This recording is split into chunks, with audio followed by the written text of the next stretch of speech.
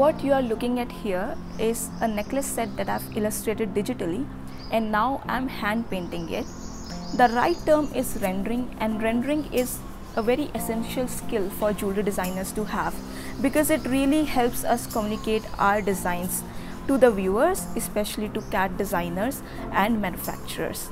Now I'm able to do this because I have a very good knowledge about jewelry design. My basics are very clear and that is something that a lot of jewelry design students struggle with. Now if you look at all the worksheets that we have shared over here, this is what we teach in our Master Jewelry Design course Desclusive and the learners who are already enrolled to Desclusive, they are very well aware of the fact that all of these are not even 5% of what we teach in our courses. Our courses are very in depth.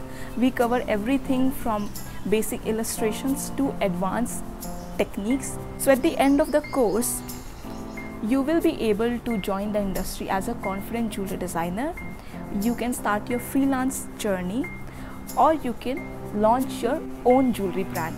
And a lot of our learners have already started their own jewelry brands. So if you are interested in learning the art of jewelry design, you can visit desdesglobal.com to enroll or book a free consultation call with us.